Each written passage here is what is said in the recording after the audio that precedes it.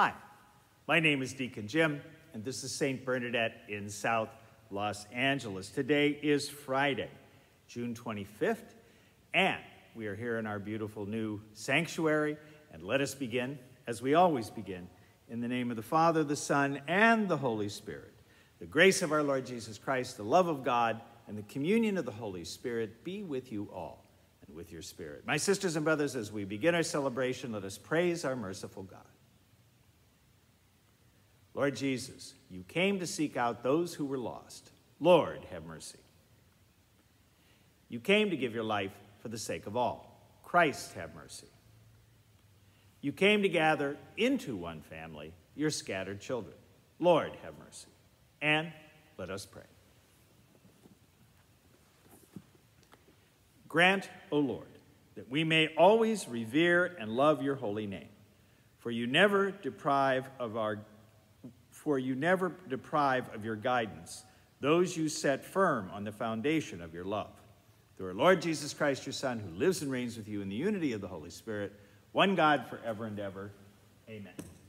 And let us come together as we break open the scripture.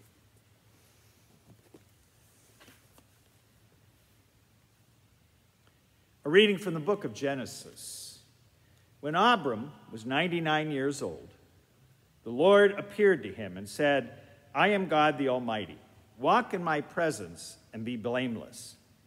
God also said to Abraham, On your part, you and your descendants after you must keep my covenant throughout the ages. This is my covenant with you and your descendants after you that you must keep. Every male among you shall be circumcised. God further said to Abraham, as for your wife Sarah, do not call her Sarai. We, her name shall be Sarah. When you look at this, the spelling is S A R A I, and her new name is S A R A H. Her new name shall be Sarah. I will bless her, and I will give you a son by her. Him also will I bless he shall give rise to nations, and rulers of people shall issue from him. Abraham prostrated himself and laughed as he said to himself, Can a child be born to a man who is a hundred years old? Or can Sarah give birth at ninety? Then Abraham said to God, Let both Ishmael live on by your favor. God replied, Nevertheless, nevertheless, your wife Sarah is to bear you a son and you shall call him Isaac. I will maintain my covenant with him as an everlasting pact, to be his God and the God of his descendants after him. As for Ishmael, I am heeding you. I hereby bless him. I will make him fertile and will multiply him exceedingly. He shall become the father of twelve chieftains, and I will make of him a great nation. But my covenant I will maintain with Isaac whom Sarah shall bear to you by this time next year. When he had finished speaking with him, God departed from Abraham. The word of the Lord.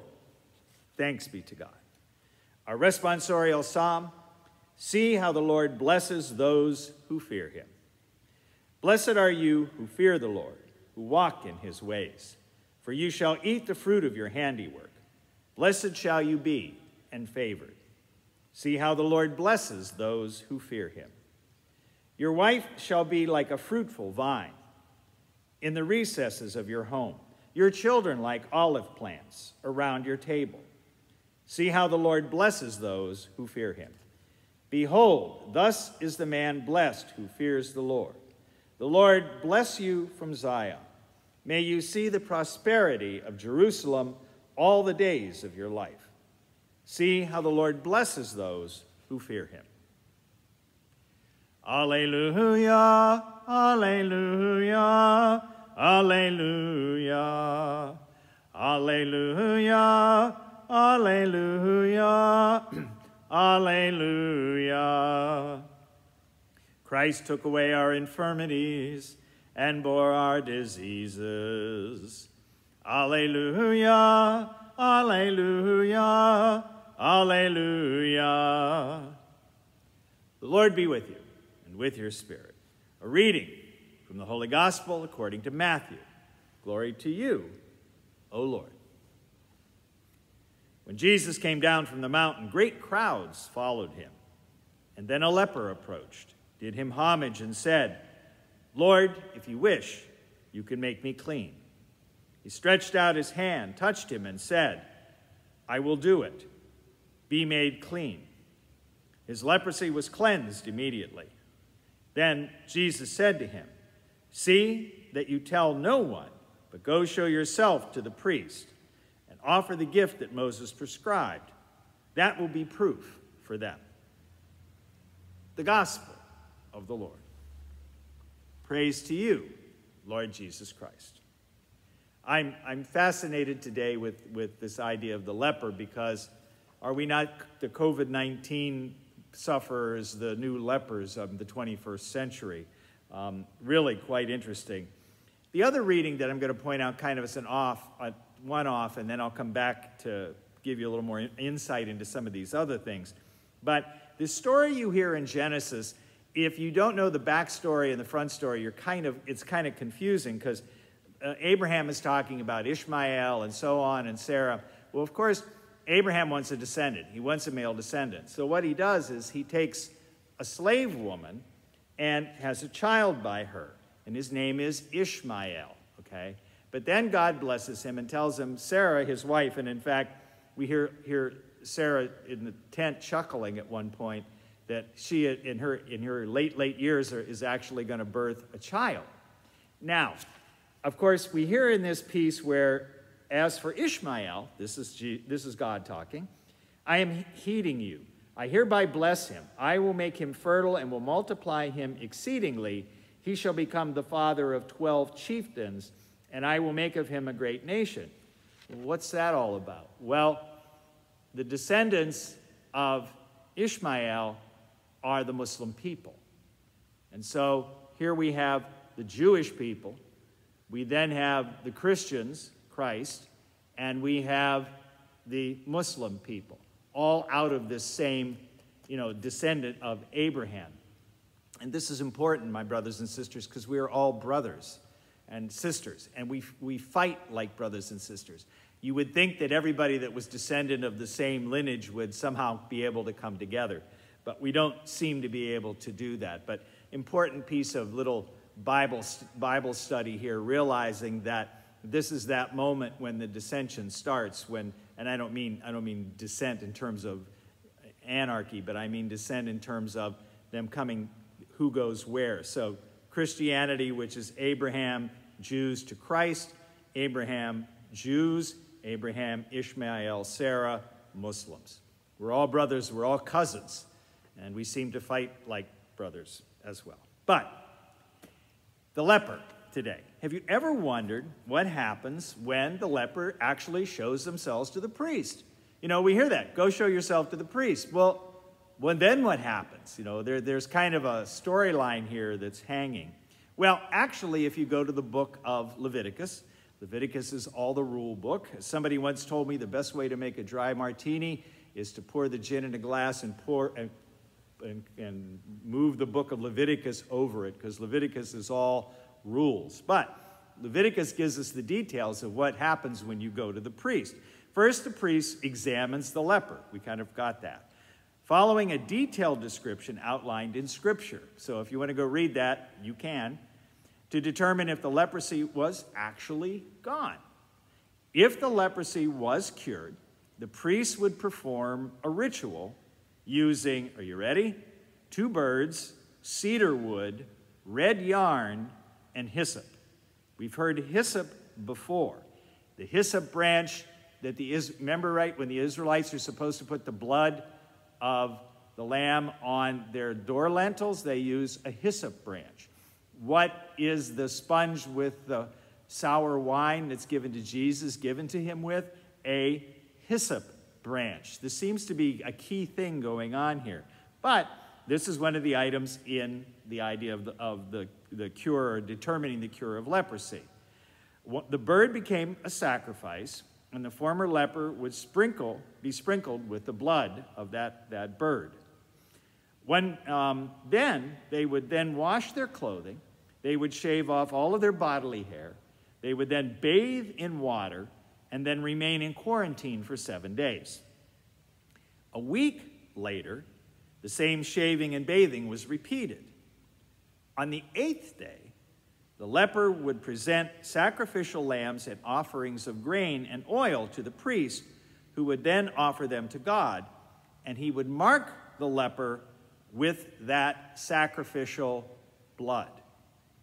Key little point there healing, sacrificial blood. Does this sound familiar? Then they would make, then they then made atonement for their sins and were integrated back into the community. Again, this sounds kind of barbaric, kind of you know old worldish, and so on, and it, it seems really arduous. But how does a two-week quarantine in the comfort of your home sound in comparison? You know, because of scientific modern understanding, these bloody ancient rituals are no longer necessary because we have, you know, we can now have uh, inoculations and so on to cure these things. But the ancient fears of leprosy have mostly been vanquished. But our other fears remain, don't they? Abraham feared not having someone to carry on his name. We know people like that, don't we? He just could not believe that God would provide would not provide a child for him and Sarah. Despite God's assurances, he just seemed to doubt. Don't we all doubt God sometimes? We know God kept that promise. What do you still fear? Is it the pandemic? Is it the results of the pandemic? Is it jobs? Is it family? What is it that you fear? And when in your life, and remember this importantly, when in your life has God kept his promise? Amen.